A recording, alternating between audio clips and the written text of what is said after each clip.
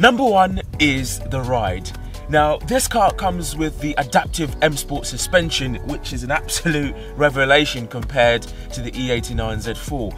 My Z4, the things I've always complained about it is the ride, especially when you're going over rough terrain.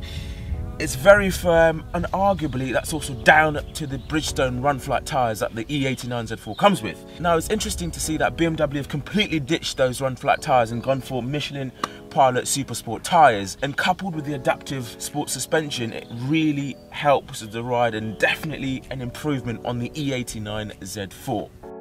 Number two is the interior. Now, this interior is absolutely fantastic.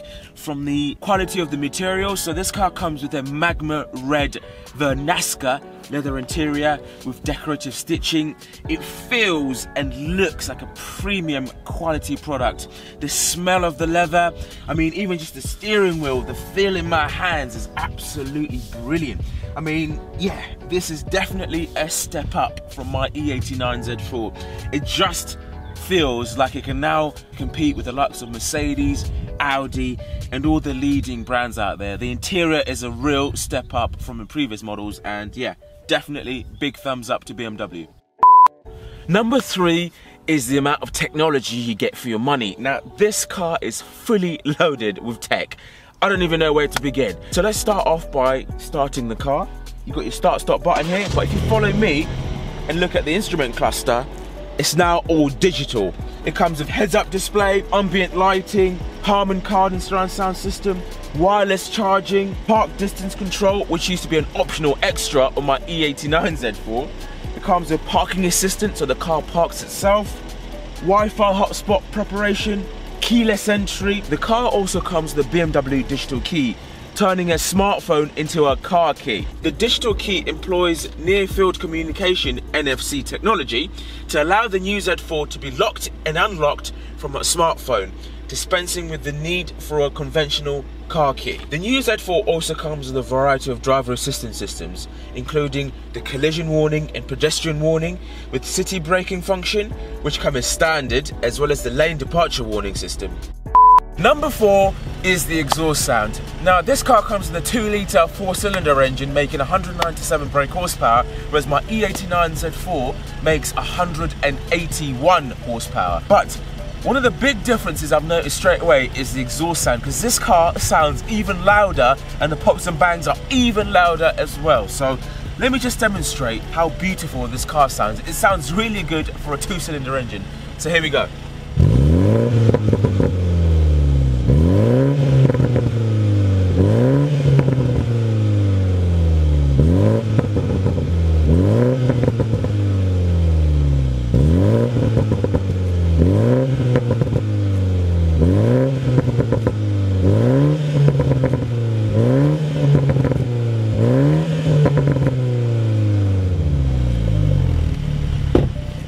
So I'm sure you can hear those pops and bangs are fantastic, really good. The only criticism I'll give this car in terms of sound is the upshift pops have gone now. So in the 89 Z4, when you're going up the gears, it used to give you that fart. Unfortunately, this car doesn't give you those pops on the upshifts anymore, which is a real shame because that was a real pleasure on the E89 Z4. But overall, the exhaust sound is much better. So number five, guys, is the increased torque. So this car comes with 236 foot-pounds of torque versus my E89 Z4's 199 foot-pounds of torque.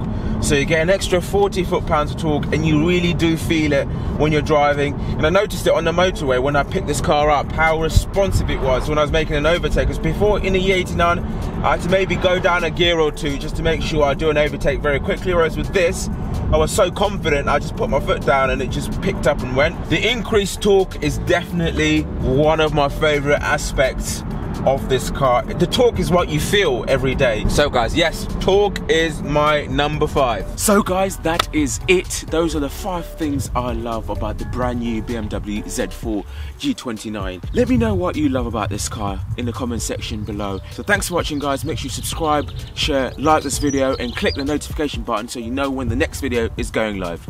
Thanks again. See you later.